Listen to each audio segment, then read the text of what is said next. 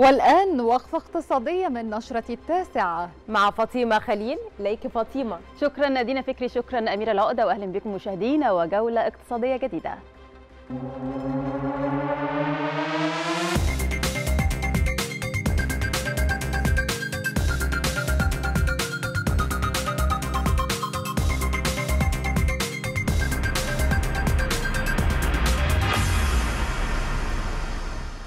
شهد رئيس الوزراء مصطفى مدبولي مراسم توقيع اتفاقية بين شركة بالم هيلز للتعمير وشركة ماريوت الدولية للتعاون من أجل تطوير فندق فاخر تحت اسم العلامة التجارية الريتز كارلتون بالم هيلز في منطقة غرب القاهرة تبلغ استثمارات المشروع نحو 4 مليارات جنيه ويوظف 600 فرد بعد التشغيل كعمالة مباشرة ونحو 45 ألف فرصة عمل خلال فترة الإنشاء.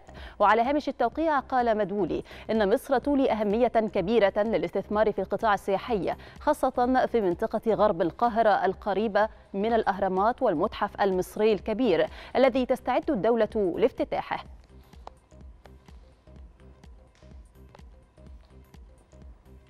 افتتح وزير البترول والثروة المعدنية طارق الملا خلال فعاليات قمة الأمم المتحدة كوب 28 بدبي. جلسة الحد من انبعاثات الميثان ودور التعاون الدولي في تعزيز الفرص الجديدة. وفي كلمته أمام الجلسة قال وزير البترول إن قطاع البترول بصدد إبرام اتفاق لوضع خريطة طريق مفصلة لخفض انبعاثات غاز الميثان في قطاع البترول والغاز في مصر من خلال الدعم الفني المقدم من وكالة التجارة والتنمية الأمريكية. مضيفا أنه من المقرر توقيع الاتفاق خلال فعاليات مؤتمر المناخ الحالي مشيرا إلى جهود الحكومة المصرية للحد من تداعيات تغير المناخ والتكيف مع أثاره السلبية.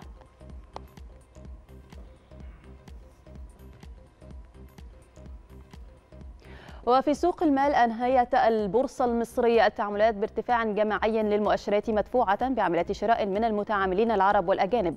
فيما مالت تعاملات المصريين للبيع وسط تداولات بلغت نحو 4 مليارات و900 مليون جنيه وربح رأس المال السوقي نحو 39 مليار جنيه. على صعيد المؤشرات ارتفع مؤشر EGX 30 بنسبة 2.82% ليغلق عند مستوى 25265 نقطة. كما ارتفع مؤشر الشركات الصغيرة والمتوسطة EGX 70 بنسبة 1.51 ليغلق عند مستوى 5384 نقطة. صعد مؤشر EGX 100 بنسبة 2% ليغلق عند مستوى 7840 نقطة.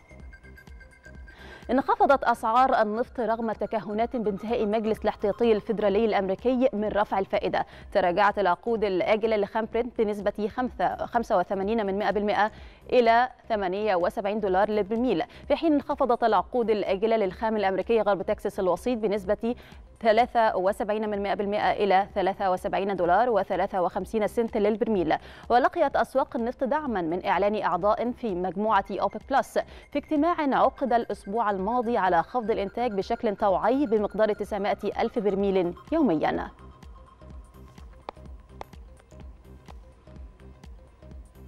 تخطى سعر الذهب مستواه القياسي التاريخي متجاوزا 2100 دولار للأقية.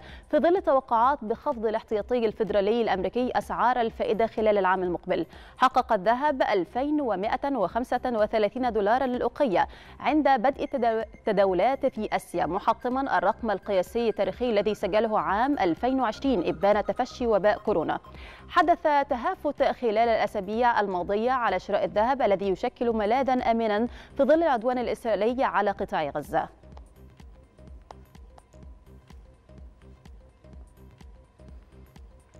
أرجأت محكمة في هونغ كونغ جلسة استماع مقررة بشأن التماس تصفية شركة إيفرجراند الصينية المتعثرة للتطوير العقاري حتى التاسع والعشرين من يناير المقبل. وتحاول إيفرجراند الحصول على دعم من دائنيها لخطة إعادة هيكلة ديون تزيد قيمتها عن 300 مليار دولار لتفادي التصفية. وإيفرجراند هي شركة التطوير العقاري الأكثر مديونية في العالم وواجهت مشاكل عندما قامت الهيئات التنظيمية الصينية باتخاذ إجراءات صارمة ضد الاقتراض المفرط في قطاع العقارات.